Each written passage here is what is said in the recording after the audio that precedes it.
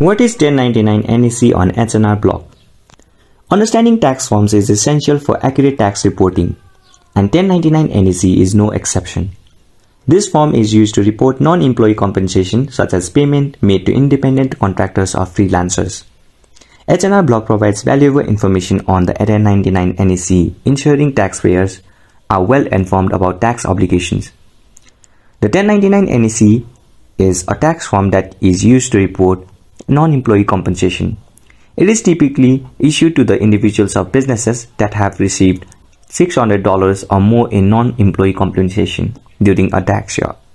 If you paid someone $600 or more than that of a service provided as a part of your trade or business, you are required to report these payments on the Form 1099 NEC.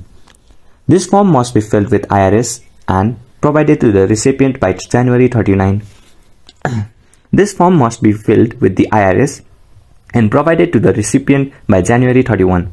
The 1099 NEC includes various information such as the payer's name, address, and taxpayer identification number TIN, as well as the recipient's name, address, and TIN as well.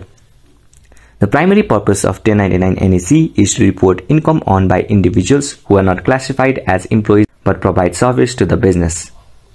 Employers or businesses must complete and file Form 1099 NEC with the IRS along with Form 1096, which serves as a summary of 1099 forms. And this was everything you needed to know about 1099 NEC. If you find this video helpful, please make sure to like and subscribe to our channel.